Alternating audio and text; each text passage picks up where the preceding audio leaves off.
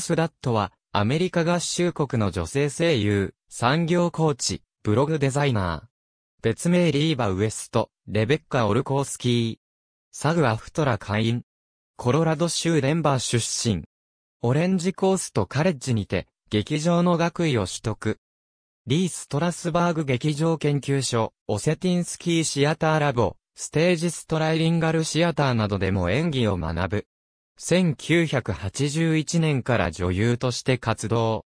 1983年に上演された舞台、イオネスコ、エステールズでは、ドロマローグアワードを受賞しており、レアンスレナでも、同賞を受賞している。ロボテックの、リーミン名役で、声優デビュー。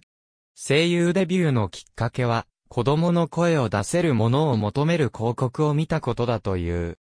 芸能関係以外では2001年から2008年までに、メアリー系にて、ダイレクトセールス関係の仕事をし、2009年から2011年まで CEO スペースサンフェルナンドバレーでネットワークコネクタを務め、2010年からブログデザイン事業、シャープビズイメージを立ち上げている。太字は、メインキャラクター1985年1988年1989年1994年1999年2000年2001年2002年2003年2004年2005年2006年2007年2008年2009年2011年1989年1998年1999年2000年2001年2002年2010年1980年1987年1989年1992年1995年1997年1998年2002年2003年2004年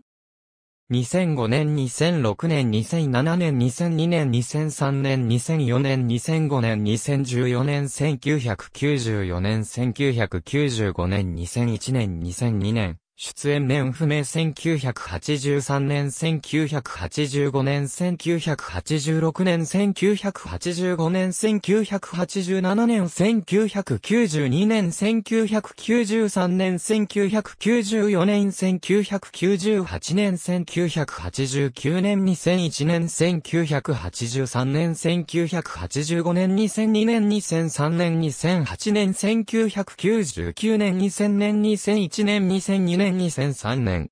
ありがとうございます。